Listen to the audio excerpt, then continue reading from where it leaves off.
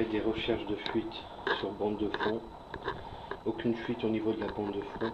Fuite sur raccord. Problème d'étanchéité.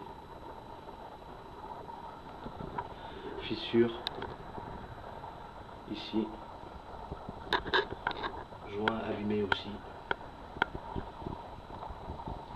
Prévoir refaire étanchéité.